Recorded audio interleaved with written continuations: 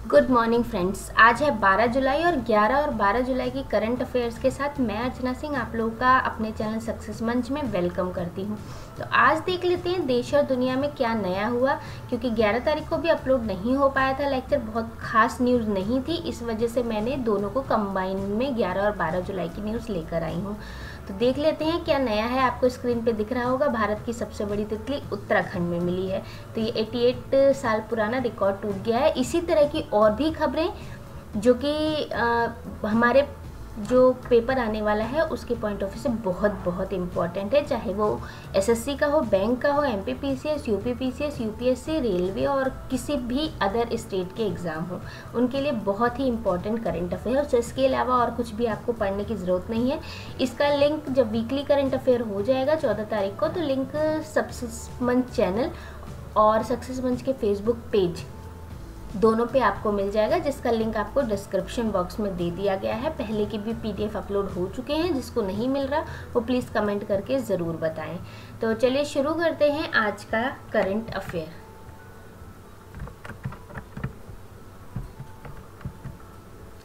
पहला क्वेश्चन है आज का बॉलीवुड की वेटरन कॉमेडियन जिसने शोले फ़िल्म में अभिनय किया था, उनका हाल ही में निधन हो गया है तो वह कौन है? तो आप लोग जैसा कि जानते हो कि जगदीश, जिसने सूरमा भोपाली का रोल किया था, उनका निधन हो गया है जगदीप। बॉलीवुड की वेटरन कॉमेडियन जिसने शोले फ़िल्म में अभिनय किया था और जगदीप का उनका निधन हो गया है और उनके निधन पर सबने शोक व्यक्त किया है। जगदीप उर्फ़ सूरमा भोपाली जिन्हें कहा जाता है, अमिताभ बच्चन के साथ शोले और सहनशाह समेत कई फ़िल्मों में काम कर चुके हैं। नेक्स्ट, निम्नलिखित में से किस सोशल मीडिया प्लेटफॉर्म ने भारतीय यूज़र के लिए टिकटॉक जैसे फीचर रील्स लॉन्च किया है? तो ये किया है इंस्टाग्राम ने। सोशल मीडिया प्लेटफॉर्म भारतीय यूज़र के लिए टिकटॉक जैसे फीचर्स, रील्स को लॉन्च किया है। रील्स है जो कि शॉर्ट वीडियो प्लेटफॉर्म टिकटॉक की तरह काम करता है, जिसके यूज़र ऑडियो फाइल्स या म्यूज़िक ट्रैक के साथ 15 सेकंड का वीडियो बना सकते हैं। तो जिसको भी इंटरेस्ट हो, ज़रूर इसको डाउनलोड करके वीडियो बनाइए। नेक्स्ट क्वेश्चन है, भारतीय सेना में हाल ही में कितने ऐप को बैन कर दिया है? तो भारतीय सेना ने 89 ऐप को बैन कर दिया और इंडियन ने जो केंद्र सरकार थी, उसने 59 ऐप को बैन कर दिया था। चलिए डिस्क्रिप्शन देख लेते हैं। अधिकारियों और कर्मचारियों को स्मार्टफ़ोन से ये ऐप हटाने का आदेश दिया गया है। बैन किए गए TikTok, hello, cam scanner, Facebook, TikTok, true caller और इंस्टाग्राम जैसे चाइनीज़ ऐप शामिल हैं, जिन पर सरकार ने प्रतिबंध लगाया है। नेक्स्ट क्वेश्चन है, भारतीय एथलेटिक्स में किस मुख्य कोच को 25 वर्ष की उम्र से अधिक होने पर पद से हटना पड़ा है। तो वो है हमारे बहादुर सिंह। चलिए डिस्क्रिप्शन देख लेते हैं। तो भारतीय एथलीट के मुख्य कोच जो बहादुर सिंह है, उन्हें 25 वर्ष की उम्र से अधिक होने पर पद से हटना पड़ा है। साथ ही भारतीय खेल प्राधिकरण, जिसे साई कहा जाता है, के साथ उनका अनुबंध भी समाप्त हो गया है। नेक्स्ट क्वेश्चन निम्नलिखित में से किस राज्य सरकार ने देहिंग पटकाई वन्यजीव अभ्यारण्य को राष्ट्रीय उद्यान के रूप में अपग्रेड करने की घोषणा की है। तो ये आपके एग्ज़ाम के पॉइंट ऑफ़ व्यू से इंपॉर्टेंट क्वेश्चन हो जाता है तो इसको बिल्कुल मत स्किप करिएगा। तो ये है असम सरकार। ये वन्यजीव अभ्यारण्य असम में क्षेत्रफल एक हज़ार ग्यारह पॉइंट नाइन फोर टू वर्ग किलोमीटर में है। अपग्रेड होने के बाद ये अभ्यारण्य असम का छठा राष्ट्रीय उद्यान बन जाएगा। नेक्स्ट क्वेश्चन टेस्ट क्रिकेट के कितने साल के इतिहास में पहली बार खाली स्टेडियम में बिना दर्शकों के मैच खेला गया है? तो ये हुआ है 143 इयर्स बाद। कोरोना के कारण 143 साल के इतिहास में पहली बार खाली स्टेडियम में बिना दर्शकों के मैच खेला गया। इंग्लैंड और वेस्ट इंडीज के बीच 8 जुलाई से अंतर्राष्ट्रीय टेस्ट मैच खेला जा रहा है। लगभग चार महीने बाद अंतर्राष्ट्रीय क्रिकेट शुरू हो रहा है। चलिए नेक्स्ट क्वेश्चन देखते हैं। निम्नलिखित में से किस देश के प्रधानमंत्री एमादो गोन कुलीबली का हाल ही में इकसठ साल की उम्र में निधन हो गया है? तो ये हमारे हैं आइवरी कोस्ट के।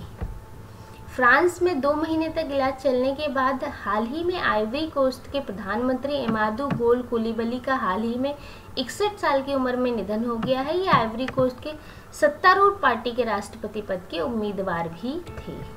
चलिए नेक्स्ट क्वेश्चन है। विदेशी समाचार वितरक संगठन मल्टीमीडिया ऑपरेटर्स निम्न में से किस देश में भारत के सभी न्यूज़ चैनलों पर रोक लगा दी है तो ये है नेपाल। नेपाल के साथ जारी तनातनी के बीच नेपाल में केबल ऑपरेटर ने अपने देश में सभी भारतीय न्यूज़ चैनलों पर प्रतिबंध लगा दिया है। हालाँकि उनके इस प्रतिबंध से दूरदर्शन को बाहर रखा गया है।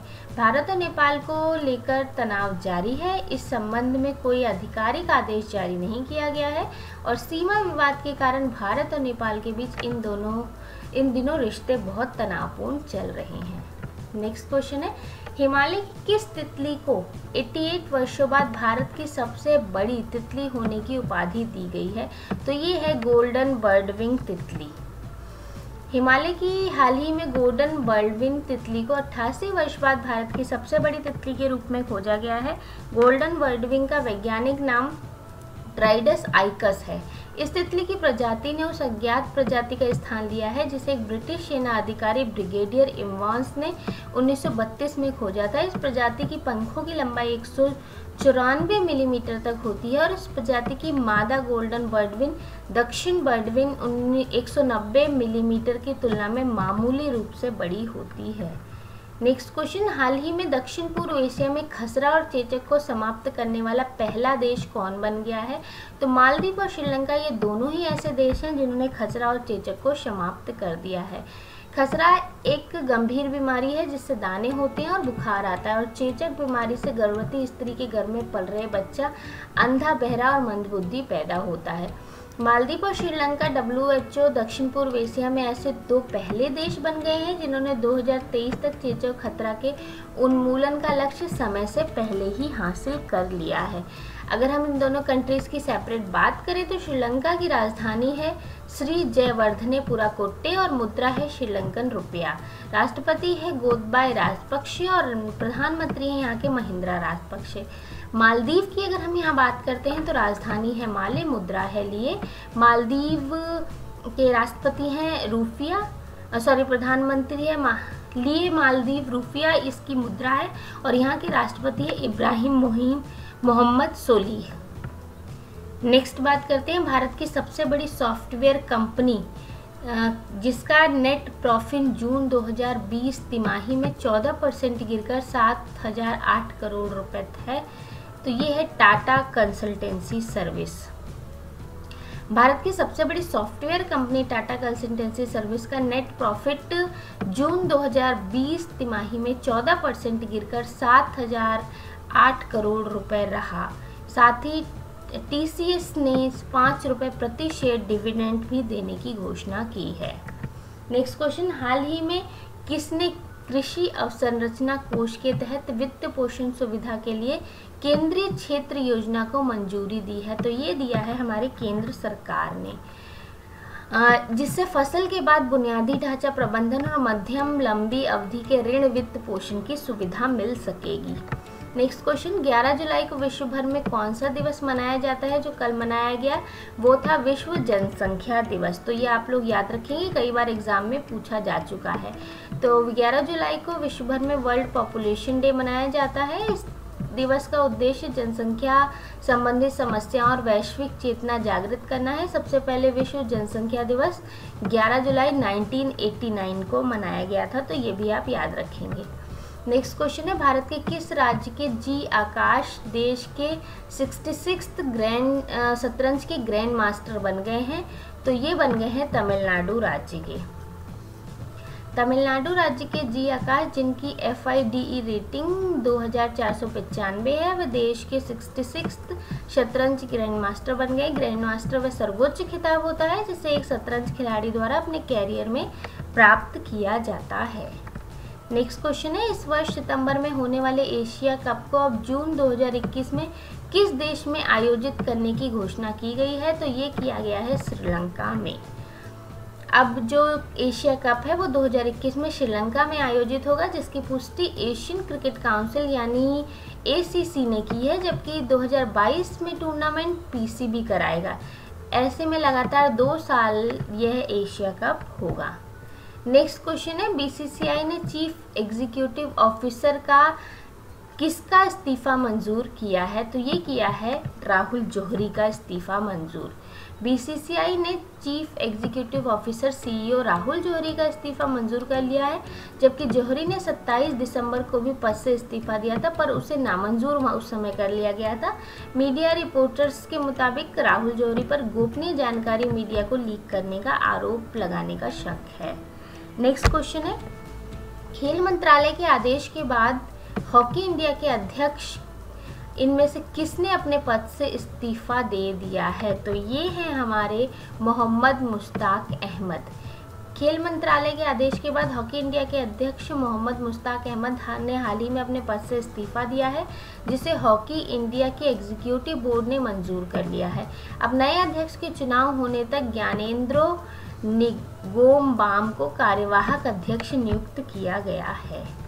नेक्स्ट क्वेश्चन, यूरोपीय देशों के बाद किस देश ने हाल ही में पाकिस्तान इंटरनेशनल एयरलाइंस की उड़ान पर रोक लगा दी है? तो ये लगाई है अमेरिका ने। यूरोपीय देशों के बाद अमेरिका ने भी पायलटों के फर्जी लाइसेंस और सुरक्षा उपायों में कमी को लेकर पाकिस्तान इंटरनेशनल एयरलाइंस की उड़ानों पर रोक लगा दी है, जबकि ई ए एस ए ने पाकिस्तान सरकार की विमानन कंपनी पर छः महीने के लिए लोग रोक लगा रखी है। तो आज की करंट अफेयर यहीं ख़त्म होते हैं। होप आपको वीडियो पसंद आई होगी। अगर आई है तो प्लीज़ लाइक शेयर सब्सक्राइब करना बिल्कुल ना भूलें। और बेल आइकन ज़रूर प्रेस कर दें। Thank you thanks for watching success Manch